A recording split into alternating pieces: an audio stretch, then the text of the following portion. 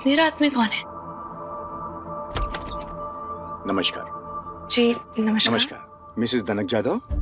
जी मैं ही हूँ धनक चाहता माफ़ी चाहूँगा मैं आपको रात को परेशान कर रहा हूँ बट कुछ काम ऐसा था कि मुझे रात को आना पड़ा। मैंने आपको पहचाना नहीं। मैं Prakash Jaiswal JP international school का प्रिंसिपल। JP international school? वो जो वसंत विहार के पास बिल्कुल बिल्कुल। सर प्लीज़ अंदर आए। थैंक यू प्लीज़ बैठिए सर एक्चुअली क्या है कि हमारा स्कूल मुंबई का ही नहीं एशिया का नंबर वन स्कूल है और हमारे स्कूल में आपके बेटे का एडमिशन हो चुका है। रौनक का? जी बिल्कुल। बस उसी के लिए कुछ फॉर्मेलिटीज करनी थी और आपके साइन चाहिए थे। Sir I am really sorry लेकिन मुझे लग रहा है आपको कुछ कंफ्यूजन हुई है। मैं आपके स्कूल की फ़ीस अफोर्ड नहीं कर सकती। आप शर्मिंदा कर रही हैं। आपके बेटे को एडमिशन देकर हम कोई एहसान नहीं कर रहे हैं। आपके पति रौनक के फादर मिस्टर आरजे?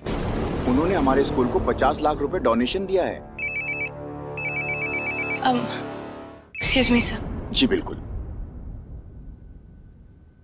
ये सुन पापड़ी तू बोलती थी ना कि एक अच्छा इंसान बनने के लिए अच्छी पढ़ाई लिखाई बहुत ज़रूरी है। तो देख आज मैं रौनक एडमिशन एक बहुत अच्छे स्कूल में कराने जा रहा हूँ। अच्छी जगह पढ़ेगा। अच्छा इंसान बनेगा। मेरी तरह एक गुंडा मावाली नहीं बनेगा। तो तेरा डर खत्म। तुम्हें क्या लगता है? तुम पैसे फेंकोगे और खरीद लोगे मुझे और रौनक को? कभी नहीं। ए एक मिनट एक मिनट। तेरी बात कौन कर रहा है? मैं सिर्फ़ और सिर्फ़ रौनक की बात कर रहा हूँ।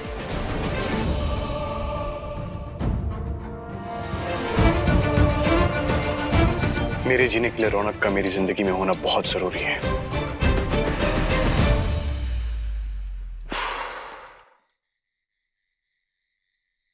देख धनक रौनक मेरे साथ रहेगा। मैं उसकी अच्छे से परवरिश करूँगा एक अच्छी ज़िंदगी दूँगा उसको। अच्छी ज़िंदगी देने के लिए एक साफ़ सुथरी पहचान होना बहुत ज़रूरी होता है रखो आज पैसा बहुत है तुम्हारे पास। लेकिन क्या तुम ये बता सकते हो कि कौन सा काम करते हो तुम? बताओ रखो क्या काम करते हो तुम? वो मैं नहीं बता सकता।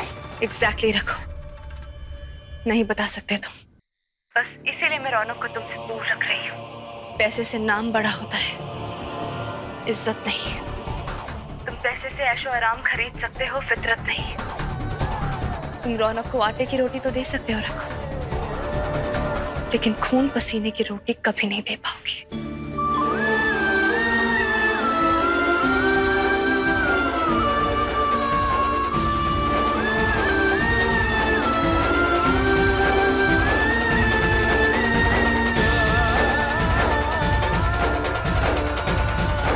थैंक यू सो मच आपने खुद यहाँ आने की तकलीफ़ की। सर मैं जल्दबाजी में कोई डिसीज़न नहीं लेना चाहती। आप मुझे दो दिन दे दीजिए। मैं आपको सामने से खुद फ़ोन करके बता दूँगी कि क्या करना है। लेकिन आज मैं कोई फैसला नहीं ले पाऊँगी। ठीक है। जैसा आपको ठीक लगे लेकिन ऐसे मौके बार बार नहीं आते। जी। थैंक यू जितनी तेरी जिद पक्की होगी। उतना मेरा इरादा पक्का होगा। कुछ भी कर ले धनक। रौनक को तो मैं पाक कर रहा हूँ।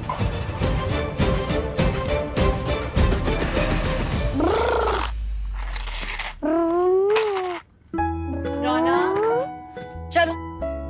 खेलना बंद करो चुपचाप सो जाओ। कल तो स्कूल है ना? आ जाओ। लेटो मम्मा आज कितना मज़ा आया ना। चंपा अंकल एकदम सॉलिड है।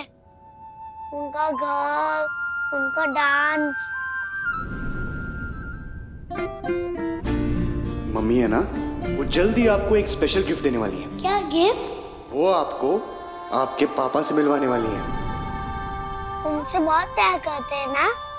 मम्मा क्या मेरे पापा भी उनसे इतना ही प्यार करते हैं? हाँ बेटा बहुत प्यार करते हैं। अब सो जाओ हम्म? चलो।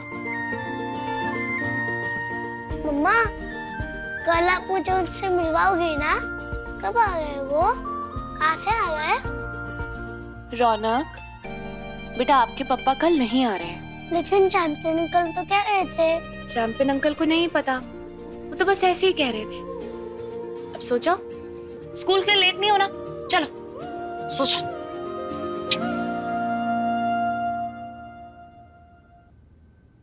अभी के लिए तो इसे मना लिया।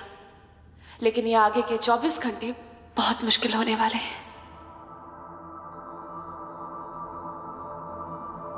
मुझे तुम पर पूरा भरोसा है, अक्षय। प्रॉब्लम मेरी है। मैं ही शायद अब ऐसे किसी रिश्ते के साथ इंसाफ नहीं कर पाऊँगी। मेरी ज़िंदगी में अब कोई नहीं आ सकता।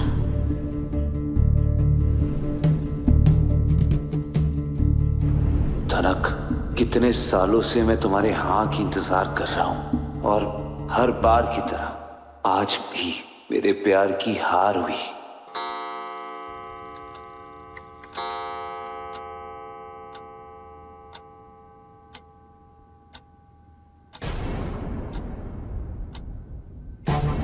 अपनी गड़ी मिला ले।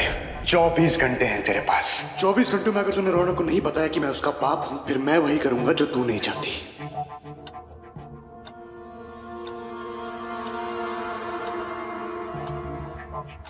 Thank you.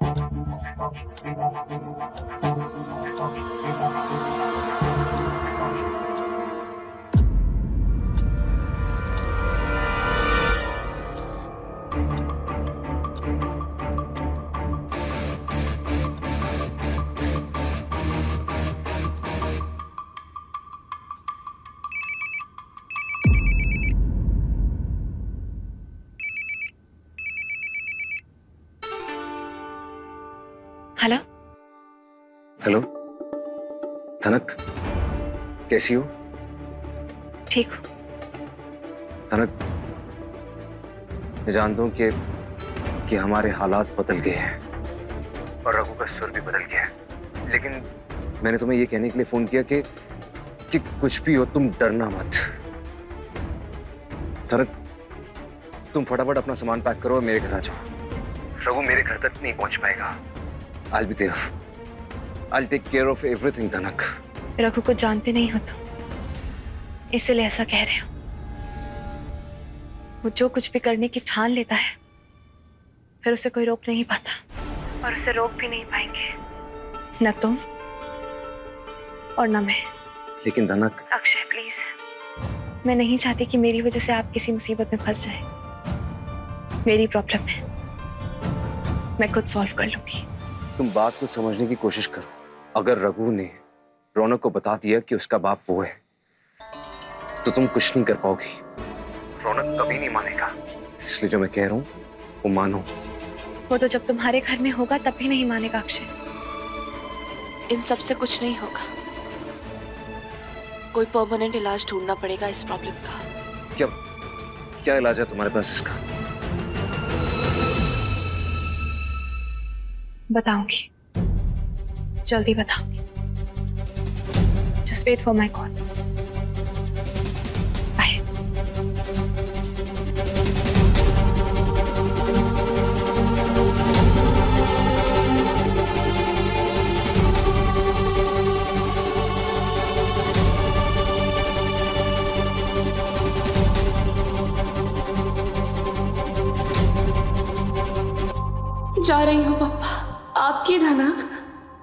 बिना बताए कि घर, ये शहर हमेशा हमेशा के लिए छोड़कर जा रही है। सिर्फ़ अपने बच्चे के लिए, उसके भविष्य के लिए।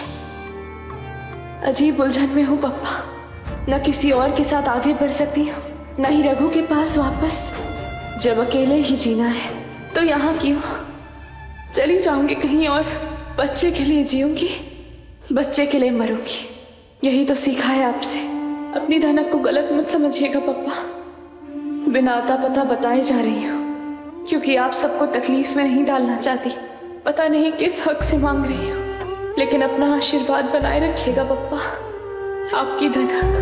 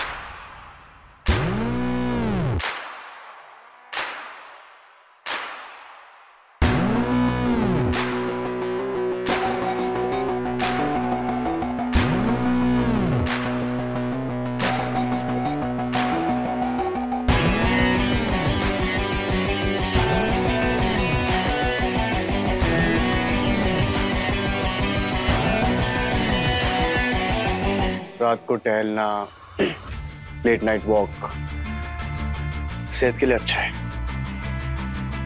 पर लिमिट में। और तेरी लिमिट वहाँ पर खत्म होती है। खास करके तब जब मेरा बेटा तेरे पास है।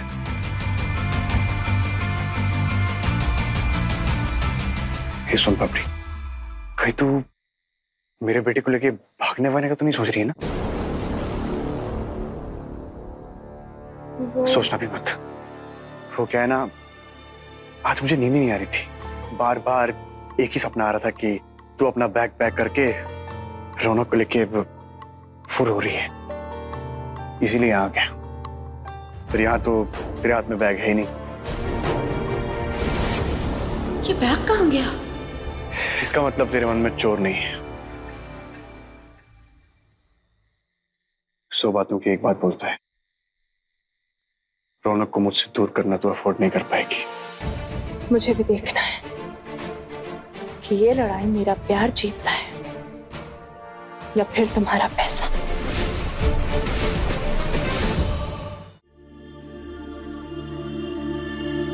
काश तू पैसे के पीछे छुपे हुए मेरे प्यार को देख पाती। चल अब घर जा। इतनी रात को एक खूबसूरत लड़की एक छोटे बच्चे के साथ अच्छी बात नहीं है। और सुन।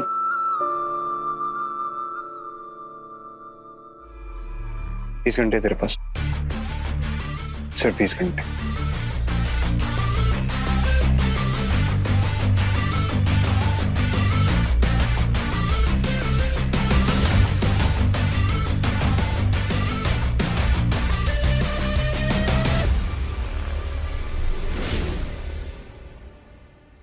आखिरी बैग गया कहाँ? ये रहा तुम्हारा बैग?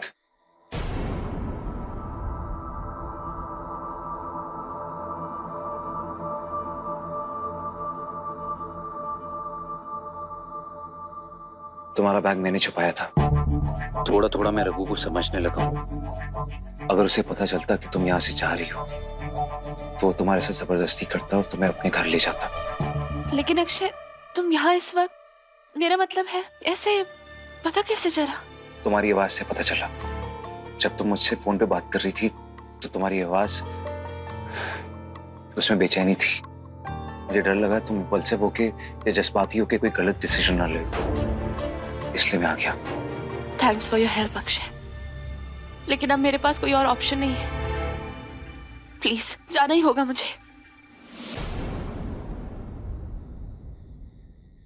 जाने जाओ। लेकिन मुझे वो जगह बताओ जहाँ तुम चैन की सांस ले सकती हो जहाँ रघु की सिद्ध तुम्हारा और रौनक का पीछा ना करे। आज अगर तुम भागोगी ना तुम्हें ज़िंदगी भर भागना होगा। तो और क्या करूँ अक्षय? ये तो कुछ समझ में ही नहीं आ रहा है। रघु के आगे सरेंडर कर दो?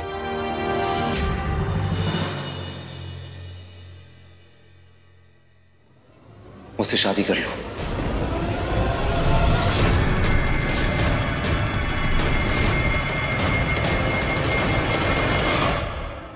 तुम जानती हो कि मैं रौनक को कितना प्यार करता हूँ। उसकी कितनी केयर करता हूँ। अगर तुम मुझसे शादी करती हो तो सारी की सारी प्रॉब्लम्स यूँ झटके में सॉल्व हो जाएँगी। एक बार हमारी शादी हो गई तो मार्क माई वर्ड्स रघु तुम्हें परेशान नहीं करेगा।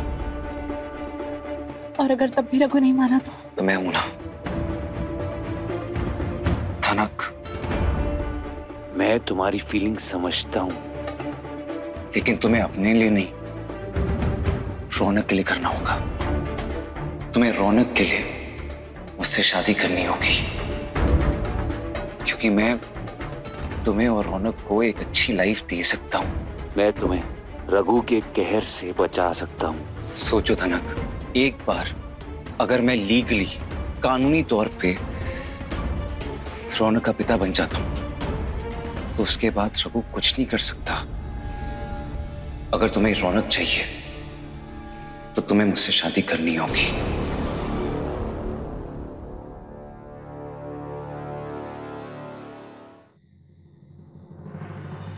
क्या हुआ?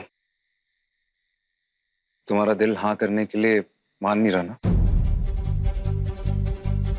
धनक पिछले पाँच सालों से मैं तुम्हें जानता हूँ। मैं सब कुछ समझता हूँ। तुम्हारे अंदर अभी भी रघु के लिए फीलिंग्स है। भुला नहीं पा रही हो। लेकिन एक बात बोलूँ, तुम्हें रौनक के लिए, अपने बेटे के लिए सब कुछ भूलना होगा और याद रखना होगा कि तुम ये सब कुछ रौनक के लिए कर रही हो। और मैं भी याद रखूँगा कि शादी के बाद भी हम दोनों दोस्त रहेंगे और मैं अपने पति होने का हक तुमको कभी नहीं जताऊँगा। अक्षय बात मेरी मर्ज़ी की नहीं। रघु को मैं तुम रघु से डर रही हो? नहीं अक्षय मैं और रघु सेपरेटेड है। डिवोर्स नहीं हुआ हमारा। कानूनी तौर पे मैं अभी भी रघु की ही पत्नी हूँ। लीगल चीज़ों की चिंता तुम मत करो। मैं सब कुछ संभाल लूँगा। बस तुम मुझे ये बताओ कि तुम उससे शादी करना चाहती हो या नहीं।